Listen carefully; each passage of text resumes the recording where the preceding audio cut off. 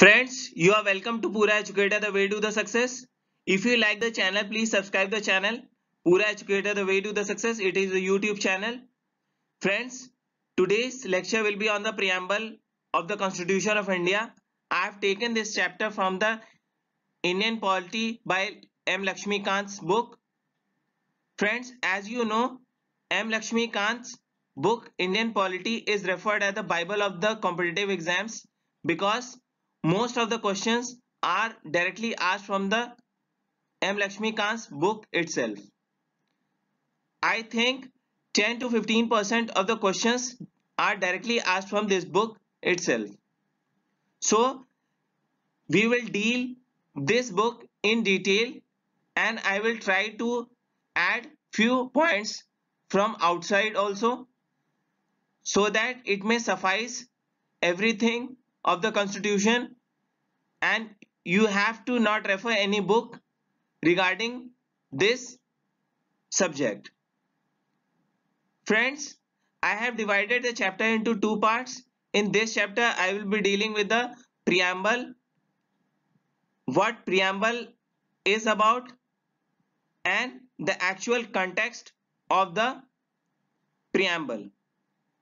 So friends, let's start the chapter in detail.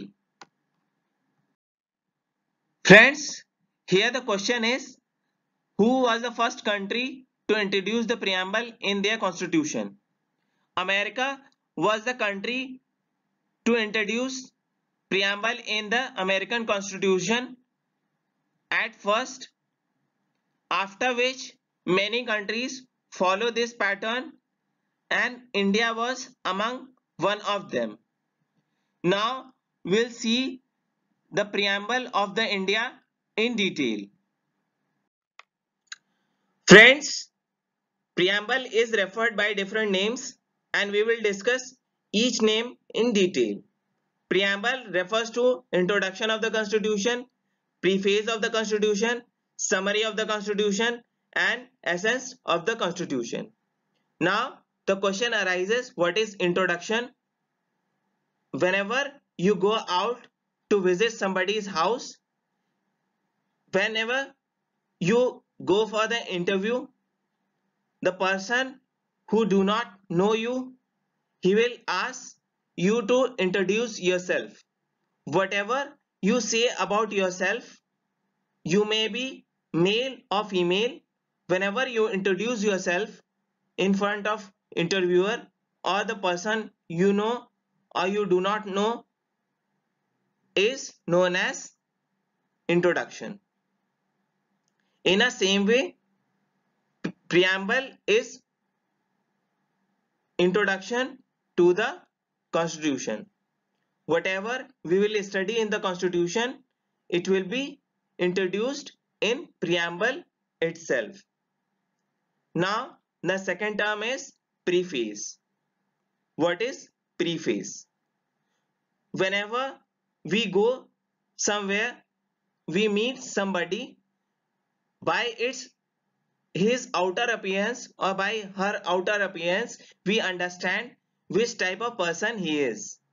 Through his gesture, through his expressions, we say he's a nice person or he's not nice. In a same way, preamble also provide the preface of the constitution. We'll get to know about the constitution through preamble's preface. Preamble is the summary to the constitution. That means whatever we will deal in the constitution in detail, the same thing will be summarized in preamble in very short. So that in a very short period of time we can understand whatever things or what things we are going to discuss in the constitution in detail. Now at the last it is essence of the constitution whatever we get through constitution by reading essence of the constitution will be provided in preamble the output of the constitution will be provided in the preamble itself. Now, an very eminent jurist and constitutional expert known as N.A. Palkhiwala referred preamble as the identity card of the constitution. N.K. Palkhiwala say preamble as the identity card of the constitution. He said preamble will be the identity card of the constitution through which we can understand whatever things we are going to study in the constitution we will be seeing it in preamble itself now we will see preamble is based on which all things in the next slide friends preamble is based on the objective resolution which is drafted and moved by Pandit Nehru. Objective resolutions points were directly taken into the preamble when the constitution was drafted.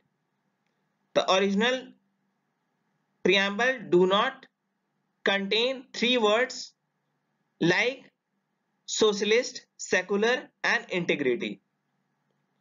In the emergency period when Indira Gandhi was the Prime Minister of India, 42nd Constitutional Amendment Act of 1976 was passed and through this amendment three words were added which I referred now is socialist, secular and integrity. Now we'll see the actual constitution preamble in detail. Now friends, I am going to discuss the text of the preamble. It is very important for the competitive exams because directly if you use these words in your mains paper, you can get the good marks. So I am reading it. In the next slide, I will be discussing this preamble in detail. We the people of India havingly solemnly resolved to constitute India into a sovereign, socialist, secular, democratic republic and to secure to all its citizens justice, social, economic and political, liberty of thought, expression, belief, faith and worship, equality of status and of opportunity and to promote among them all fraternity assuring the dignity of the individual and the unity and integrity of the nation.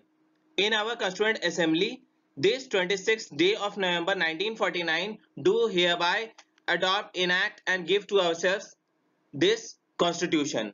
Friends, please mug it up because it is very important for your marks in your mains. If you write these words, you can good get good marks. So please mug it up or read it up. Any method you follow, but it should be remembered by heart. Okay friends, now I will be discussing this preamble in detail.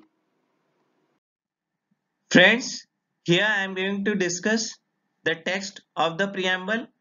Earlier I have just read it. We the people of India havingly solemnly resolve to constitute India into in the Constituent Assembly the representative of the people said we the people of India we the people, the citizen of India will constitute altogether India into sovereign. Sovereign means India will have its sole authority over its functioning. It may be internal or external matters. No other country interrupt in its own matters. Here, friends, I just forgot to tell you that yellow line represents the important terms and blue line represents the terms which were added later on. Friends, now the next term is socialist. Socialist and secular was added by the 42nd Amendment Act of 1976 when Indira Gandhi was the Prime Minister of India this time was during the emergency period. Now we'll discuss the term socialist means the government will function in favor of the society. No person will be given higher value or lower value according to its monetary value. He will be treated equal whether he is rich or poor.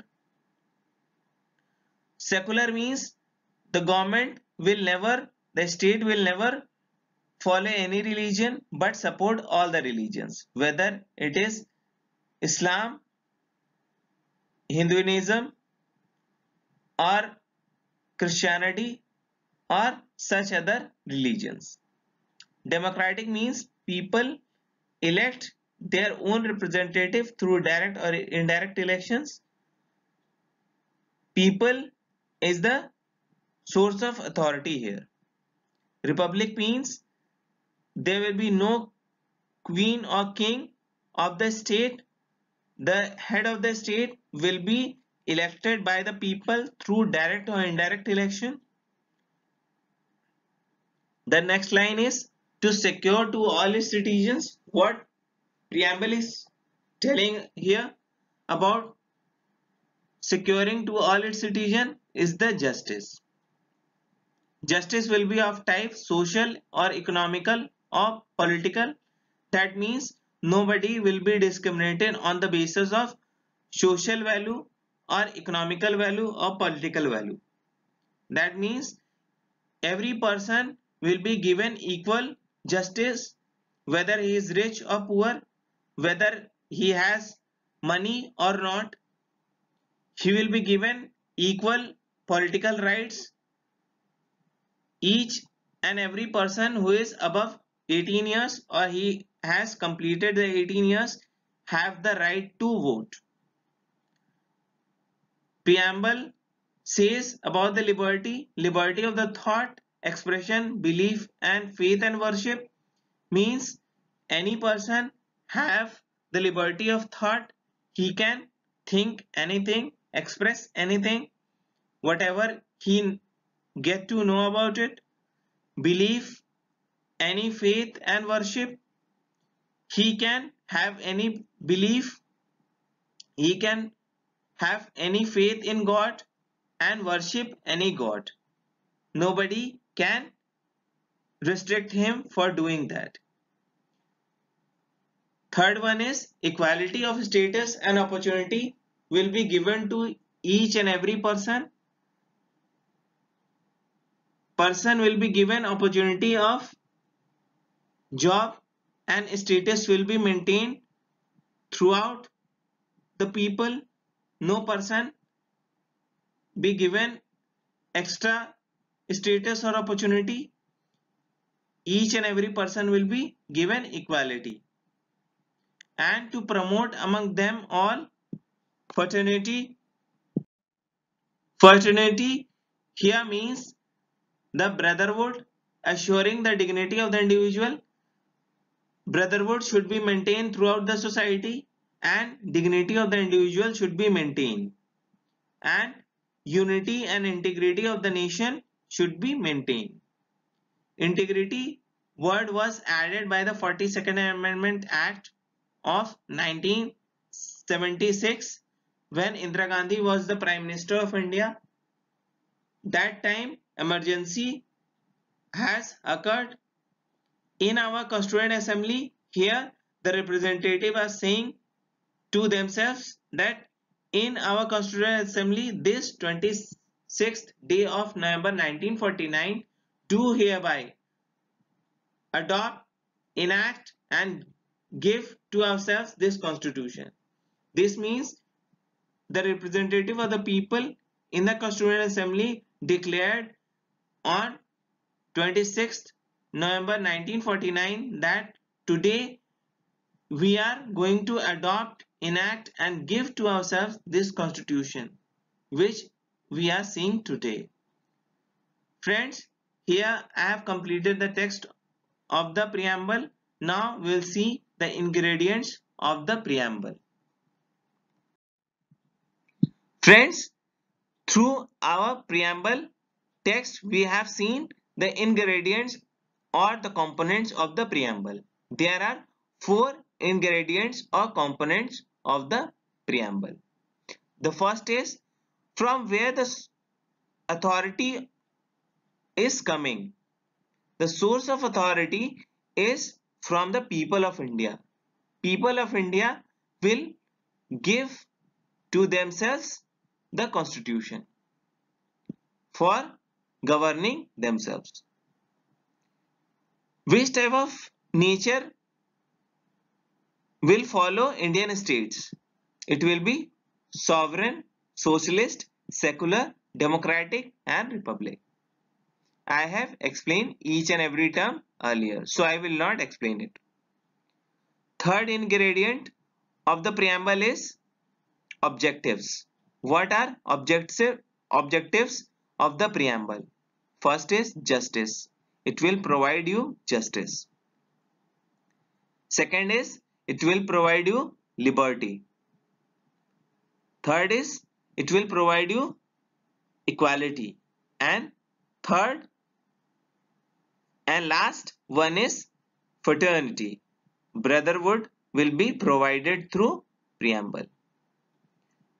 Fourth and the last one is date of adoption. When preamble was or constitution was adopted. It was the day on 26th November 1949 when constitution was adopted, enacted. Okay friends here I have completed my lecture. In the next lecture what we'll be seeing we'll see in the next slide.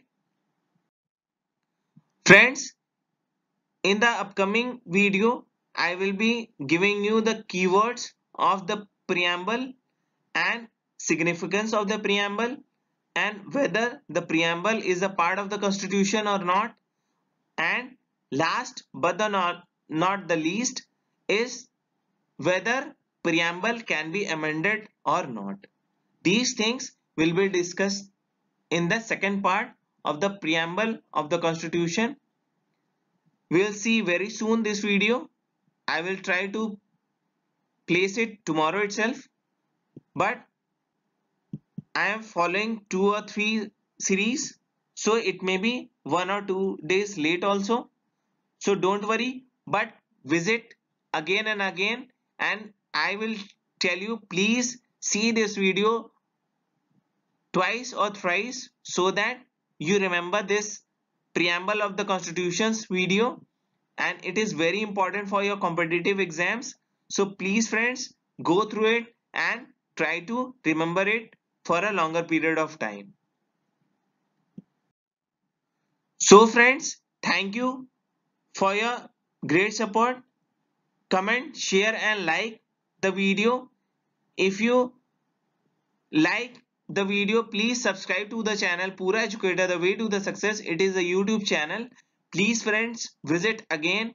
I will be presenting you the new videos which will be very helpful to you for your competitive exams and please visit again and again.